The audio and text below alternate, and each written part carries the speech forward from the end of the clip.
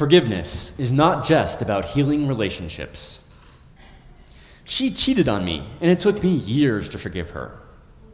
Or, my sister stole my clothes and jewelry for years and denied it. We're closer now, but things are still not good between us.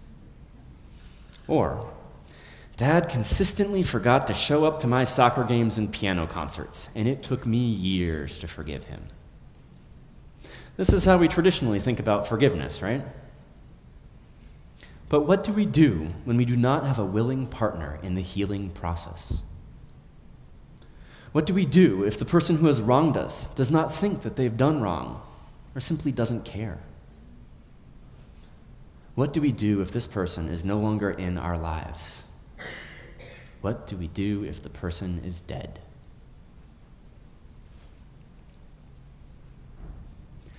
I was really socially awkward as a teenager. Really? And I have held on to one story in particular for almost 20 years. All right. My music teacher in junior high, Mr. Richter, started off class one morning by asking if anyone had seen the rerun of The Golden Girls that had been on the night before. Now, I was one of those overeager kids, always aiming to please. So, of course, I raised my hand excitedly. I did, I did. Mr. Richter said, Well, there was this funny conversation where a kid was explaining to two of the Golden Girls the difference between a dork and a geek. But I don't remember exactly what he said. This wasn't a problem. I remembered the exchange clearly and proceeded to repeat it almost verbatim back to the entire class. When I was done, Mr. Richter said, Well, thank you, Seth. You know, the reason I brought it up today was because when I saw it, it made me think of you. I was devastated. And I held on to that devastation for a long time afterwards. In my 20s, I would go over and over this experience in my head. I dreamed about tracking down Mr. Richter and going to see him. I planned on telling him in pretty plain language how completely insensitive he was to make me, one of his students, a kid that he was responsible for, to make me feel that small and insignificant. It's only recently that I've been able to, that I've been able to heal most of that pain and begin to forgive him. And I'm still not even there yet, even now. For me, this is a prime example of how forgiveness is not, in the end, about getting an apology from someone else. I was carrying that hurt and pain around for a long time, and it wasn't hurting Mr. Richter, it was just hurting me.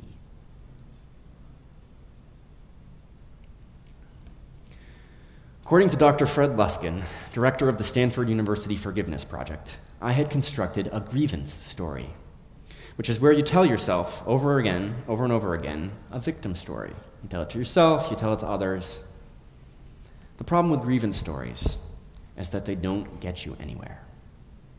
Instead, they leave us sitting and stewing in our own pain and hurt. There's definitely a natural grieving process that we go through when we're wronged. We're usually angry and hurt. We rehearse the narrative in our minds, and we share the painful story with others. If we become bogged down in that story, though, and continually revisit the pain, we don't move forward.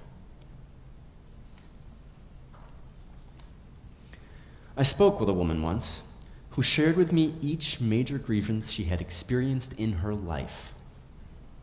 It was actually pretty remarkable to listen to. Starting in kindergarten with the teacher who corrected her unfairly for spilling water that she didn't spill, second grade, the teacher who threw an eraser at her, all the way on up. It just kept on going. This woman was stuck in pain, hurt, and resentment. In fact, the word resentment comes from the root word ressentir, meaning to feel again. And this exact, is exactly what that woman was doing. She kept feeling the same pain, decades old pain, over and over again. I don't know about you, but that sounds pretty terrible to me.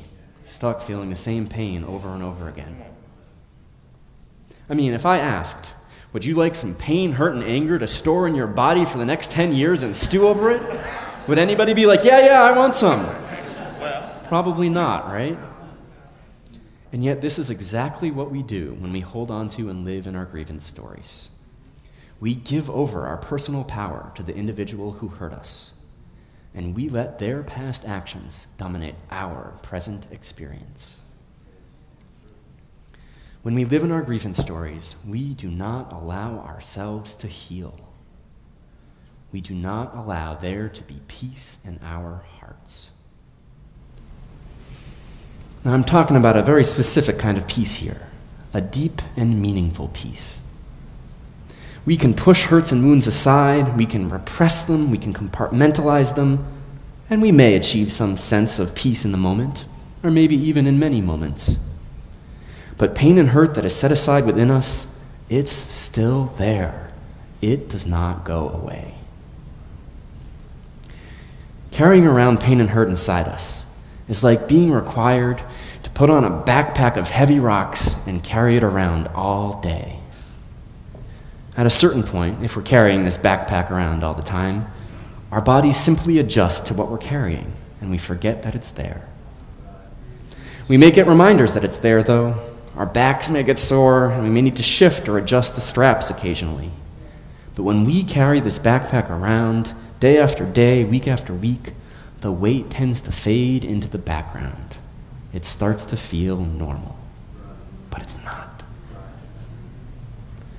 If someone were to come along and lift out a few of those heavy rocks, you would immediately notice that things felt lighter. You may be so used to carrying the backpack that you weren't consciously aware that you were carrying something heavy. But as soon as those rocks come out, you would definitely feel a lightening. This lightness, this removal of weight, is the kind of peace in your heart that forgiveness brings about. Shifting rocks of pain and hurt around, putting them out of your conscious awareness, that can bring some sense of peace and comfort. But the weight is still there. The pain is still there. The grievance story is still there, even if we aren't consciously aware of it. Choosing forgiveness is choosing to undergo the process of taking rocks out of your bag. Rocks of pain and hurt are not easy to remove, but as we begin to heal, the rocks will come out. We may never empty our backpacks completely, but every time we choose the path of forgiveness and healing and take one more of those grievance story rocks out of our backpack, there is greater peace in our hearts.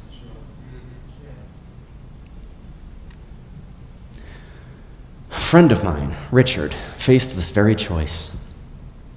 Thirty years ago, he was confronted with a terrible act of violence, an act of violence that harmed someone that he loved dearly. Richard was an honorable man who cared deeply for his family. He and his wife served as diplomats for eight years in Hong Kong, where they adopted a two year old Russian girl named Eugenia, Jana for short. Jana was a smart kid, but she struggled after her family returned to the U.S., barely managing to enroll at Washington State University for college and hanging out with the wrong kind of people. During her sophomore year of college, Jana went to a hotel in the seedier part of town looking to buy marijuana.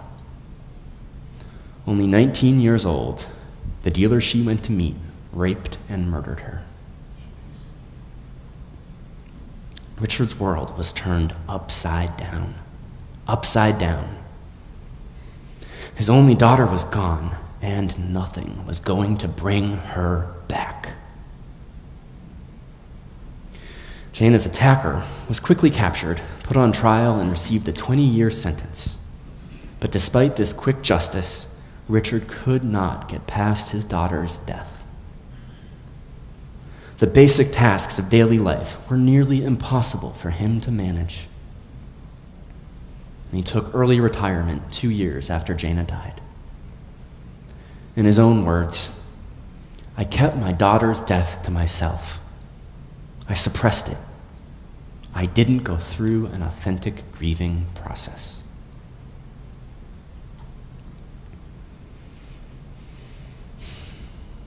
Richard kept this rock in his backpack for a long time.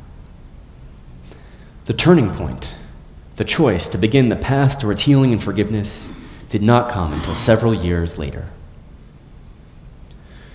When he started treatment for clinical depression, Richard made a choice to move forward.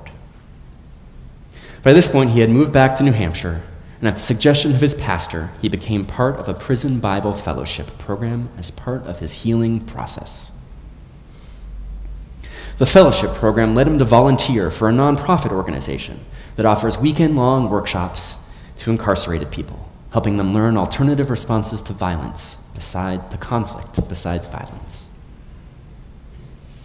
Over the course of many weekends, Richard heard the stories of incarcerated people. He learned about their struggles. He learned about the crime ridden communities in which many of them grew up. Richard spent many hours with these men, men who came from similar backgrounds as the man who murdered his daughter, men who had committed similar crimes and he gained first hand knowledge of their humanity. He even began to see something of his daughter in the men he was working with. They are angry and alienated, he said, and at the same time, they are also looking for love and acceptance. Volunteering with these men helped Richard to heal so much so that he eventually came to the following conclusion I have come to understand that everyone has a spark of the divine.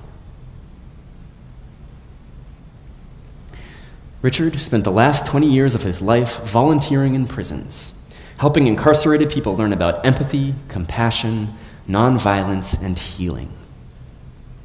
Again, in his own words, I believe the work I do now in prison and with ex prisoners, honors and gives significance to my daughter's life.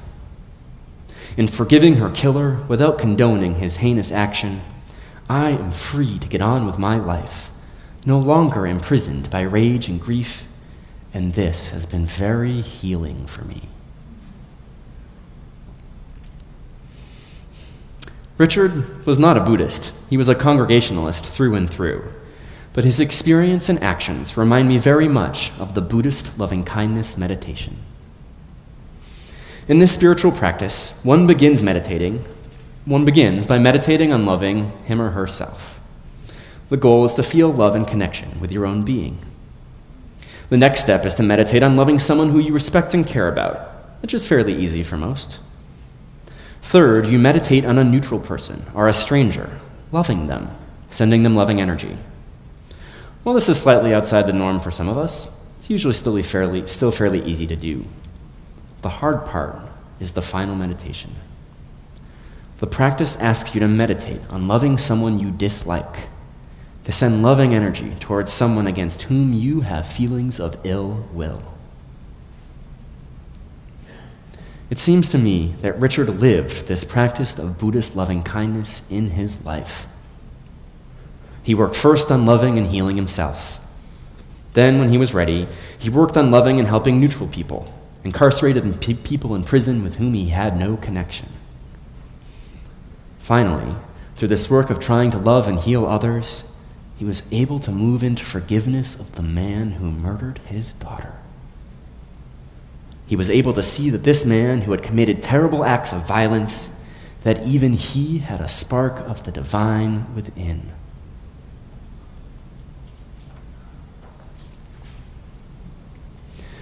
Richard was an amazing man, and the radical forgiveness he practiced is not something everyone can or is willing to do. My experience with my music teacher was nowhere near as severe as Richard's experience with his daughter's death. But he forgave, and in fact, radically forgave with love, while I have yet to be able to completely do that. Forgiveness, while a choice, is not always an easy thing to do but we have to try. If we don't, we're just letting the pain and hurt fester inside us. We are all carrying backpacks of rocks around with us all the time. We all have pains and wounds we carry, grievance stories, and otherwise. How might your experience of daily life be different if you were to choose the path of healing and forgiveness, regardless of whether you had a willing partner in the healing process? How might the world be a different place if each and every one of us attempted to practice the kind of radical love suggested by the Buddhist loving kindness meditation? How might the world be a different place if we all tried to practice the kind of radical forgiveness that Richard lived? This radical forgiveness, radically forgiving with love, this is our challenge. We must try to let go of our grievance stories. We must stop letting pain, hurt, and resentment stew inside us for weeks, months, years, and even decades. For our own sakes, we must take some of those rocks out of our backpacks. And then, as we practice radical forgiveness, as we heal ourselves, we can then reach out with love and compassion to those who are doing harm in the world. We can begin to try and see the spark of the divine that's in all of us.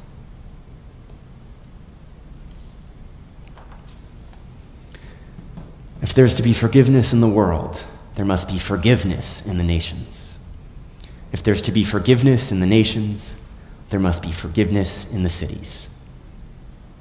If there's to be forgiveness in the cities, there must be forgiveness between neighbors.